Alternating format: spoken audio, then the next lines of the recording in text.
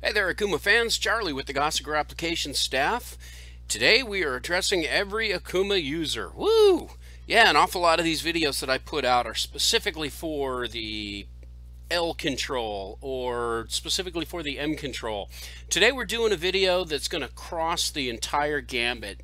L, M, S, all of them. Ever had this happen? Let's see if I can center that a little better if you've ever had an alarm that says stroke end over and then the axis being specific right here, what that means is that for some reason your machine has completely over traveled. Now we all know, let's go into my collision avoidance here, we all know that if, um, if you just manually move the machine either with the pulse generator or the arrow keys like I'm doing, when the machine runs out of travel, it simply stops. The computer is smart and it says, okay, well, that's all I got. No alarms, no muss, no fuss. However, if something really bizarre happens, you can get that stroke end over alarm. I can give you a couple of examples. Uh, if your presetter is down and you hand wheel the machine into the touch setter instead of using the execution keys, you know, that would be these guys here. If you haven't touched one of the execution keys, but one of the sensors gets touched, then you can get this stroke end over alarm. If they call it sensor protect in that case. The, uh, the other example that I have is on an NC tailstock. It's expecting to go to a certain position. If the material slips back into the chuck or collet, and the uh, the NC tailstock jerks to the left under its own load, it can give you that stroke end limit alarm. Okay, enough explanation, Charlie. Now tell me what the heck to do about it. This is outlined in the alarm manual. However, what we need to do, step by step, is first we're going to go to the back of the machine, open up the electrical cabinet, and inside you're going to find a unit that looks just like this. On the lathes, it's generally down towards the bottom. Uh, in the mills, it's off to the bottom left. But we're looking for this little toggle switch right here labeled MFEC1, and it's got an off and an on position.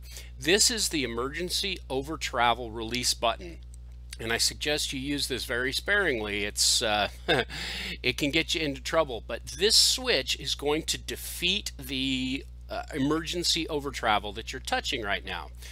Uh, if I can go back to the original, if we are in over travel condition, I can hit reset until I'm blue in the face and it will not solve the problem. And as you noticed from my original picture, this is an alarm A. That's an emergency stop condition. In other words, I'm not doing squat until I fix the issue. And so my fix is to first turn this MFEC1 switch to the on position. Then I'm going to come over to the machine and in manual mode I can use the jog keys to move the tool away from the danger zone. Now I've been told that you can only do it with the pulse generator but uh, uh, I'll leave that to you to figure out for sure since I don't have an actual machine sitting in front of me I can't confirm that but uh, with that MFEC1 switch on we can then reset the emergency e-stop condition and very carefully creep back away from whichever axis it was that caused the problem. As soon as you move oh a quarter inch or so eighth inch is probably going to be enough. Make sure that you go back into the electrical cabinet and return this switch to the off position. If you don't do that, the machine is going to ignore the emergency over travels and you're no longer protected. So make sure you turn that thing back off. Then uh, you're now out of the way so you can reset and uh, fix the problem that caused the issue in the first place, whether it's uh, tightening up your, your clamping or uh, simply fix your program.